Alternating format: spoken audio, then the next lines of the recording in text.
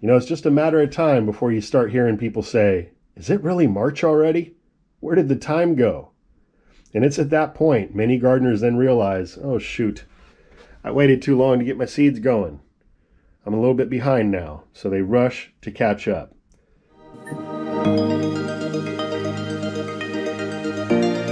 Hey, how's it going, everyone?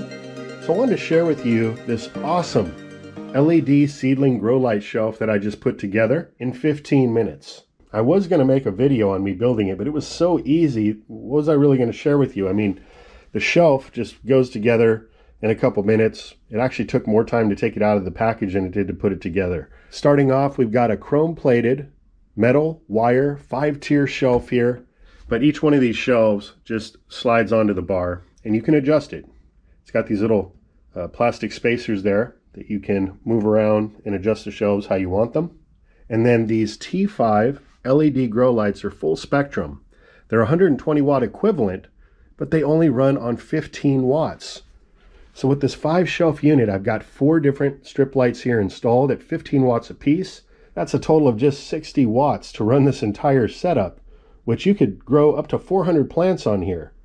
Each one of these shelves, I've got two 40 cell humidity dome seedling trays set up. That's 80 plants per shelf to get going.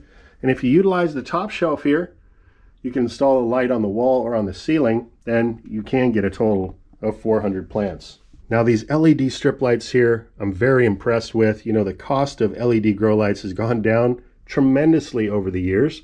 To install these on this shelf, all you do is zip tie either side per the instructions and the zip ties are included. Now these strip lights do actually protrude a little bit past the shelf which I found actually made it easier to install and each one of them has an individual power button that you can easily access there. And the great thing about these lights is that they daisy chain together. So you can have them all on one master switch or you can individually control them. So here's the master switch that plugs into the wall. And I love the fact that this shelving unit has wheels that makes it very easy to move around. It's lightweight overall. You can roll this into the corner of a room out of the way. And for all you folks that live in an apartment or a condo and you don't have a landscape to grow in, you could set up something like this and begin to sprout your own seeds, broccoli sprouts, sunflower sprouts, you name it. You could get growing today and start producing nutritious live foods to include into your diet so the total energy usage to run something like this for 16 hours a day, 16 on, 8 off, which is pretty much what you want to be running if you're growing seedlings, is going to be 10 cents a day or $3.50 a month. Is that not amazing?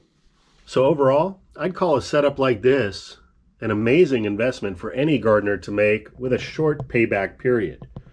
Just think of the amount of money you can save growing all your own plants from seeds, not to mention the fact that some of the most unique, amazing, delicious varieties you're not able to find at your local nursery or big box store.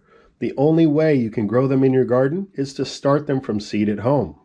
And having something like this to get you growing early, get a jump start on the season, is going to help you to accomplish all your gardening goals.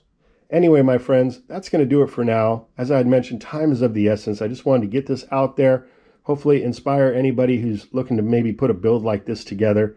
You're talking 15 minutes, about $115 to get started, and you can begin growing hundreds of plants, get ahead of the season, grow unique varieties, and become empowered, more self sufficient, and best of all, grow an amazing garden for 2022. So, with that, I want to thank you all for watching. Have yourself a great rest of the night. Until next time, this is Dan from plantabundance.com. Take care. I'll be talking to you again soon.